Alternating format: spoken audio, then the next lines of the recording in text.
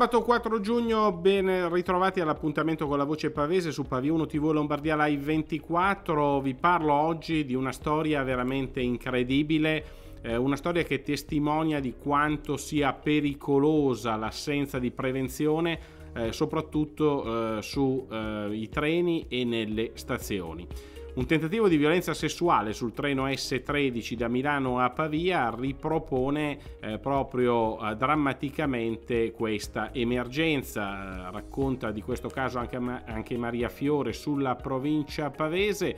Eh, il fatto è successo sulla S13, la linea che collega Milano a Pavia, eh, il tema sulla, della sicurezza sui convogli nelle stazioni esplode. Nel pomeriggio di giovedì alle 15.30 una ragazza di 24 anni che si trovava sul treno 24.349 della linea S13 ed era diretta a Pavia dove doveva scendere è stata avvicinata nel suo vagone mentre era da sola da un giovane ivoriano residente in provincia che l'ha prima molestata cercando di ottenere un rapporto sessuale, infine picchiata e rapinata della borsetta. L'episodio sulla S13 alla stazione di Locate, un 24enne residente a Candia Lomellina bloccato eh, e poi gli agenti l'hanno tratto in arresto, ma si torna a parlare dei pericoli che si potrebbero prevenire con una seria opera di sorveglianza sui treni e nelle stazioni.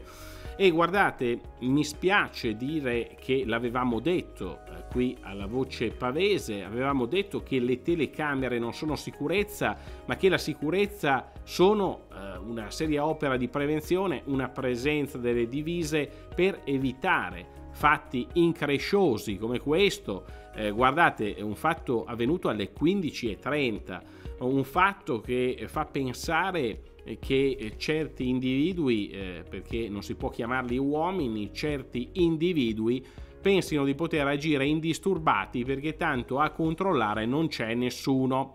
Vi ricordate quando noi, brutti e cattivi, qui alla Voce Pavese, su Paviano TV e Lombardia Live 24, avevamo detto che il Comitato Provinciale per l'Ordine e la Sicurezza non doveva ignorare eh, certi venti d'allarme? Eh, certe segnalazioni da parte degli enti locali e dei sindaci. Eh, vi ricordate di quando abbiamo parlato di eh, Voghera, ad esempio, eh, con eh, problemi anche a Voghera che partono proprio dalla stazione ferroviaria, uno dei eh, punti caldi eh, nella terza città della provincia di Pavia, ad esempio, è proprio la stazione ferroviaria. Ebbene, in queste stazioni, a parte la meritevole opera degli agenti della Polfer, che però sono pochi, questa è la realtà, sono pochi. Gli agenti della Polfer sono pochi, i carabinieri sono pochi, gli agenti di polizia sono pochi e quando si chiede maggiore presidio del territorio e maggiore prevenzione ci si sente dire che la provincia di Pavia non è il Bronx. Ebbene, non sarà il Bronx, ma lo sta diventando perché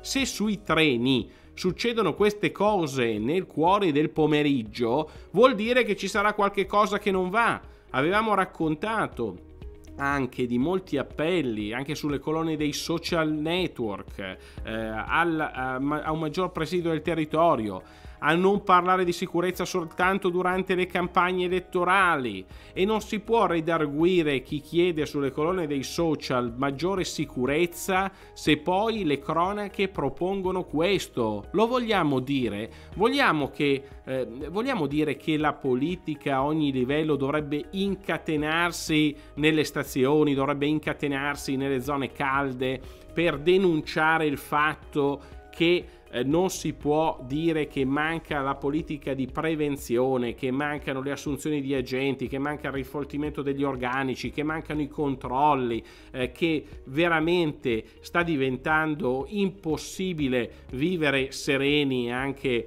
facendo un breve tragitto in treno eh, da Milano a Pavia lo vogliamo dire che questa cosa grida vendetta? Vogliamo dire che una persona, qualche energumeno, non può fare il bello e il cattivo tempo impunito? Vogliamo dire che c'è un sistema della giustizia che anche laddove eh, le forze dell'ordine eh, vadano a cogliere in flagrante certi energumeni, poi il sistema della giustizia non è efficace nell'applicazione di una pena o nell'attivazione di un percorso di rieducazione, di recupero di questi energumeni, vogliamo dire che i cittadini si sentono sempre più impossibilitati a vivere la loro vita quotidiana in serenità, soprattutto se sono donne, ragazze, eh, che eh, devono aver paura ad andare eh, persino in treno, non è normale non è normale, quindi non beatevi di un risultato elettorale, non beatevi del fatto che magari fate, eh, non so, un evento di successo se poi non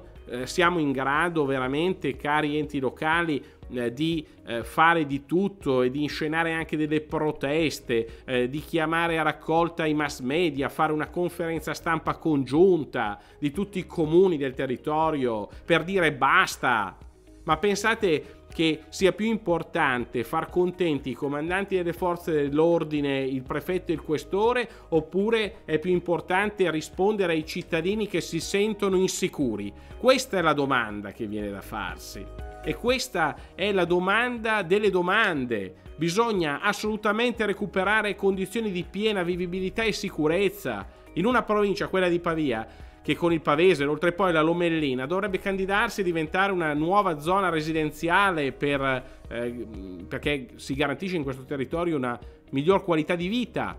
Così dovrebbe essere, c'è meno inquinamento che vivere nella periferia di Milano, in provincia di Pavia. Ci sono eh, tanti motivi per trasferirsi in provincia di Pavia, ma se poi c'è da aver paura di salire sul treno per tornare da Milano alle 15.30 di un giovedì pomeriggio perché eh, si rischia di essere violentati, e no, assolutamente, e non è un caso non è un caso isolato, ci sono anche casi di molestie, magari meno gravi di questo, che non sfociano neanche più in denunce perché c'è la crisi della fiducia nei confronti delle istituzioni. E allora pensiamo, agiamo e per carità, basta parole.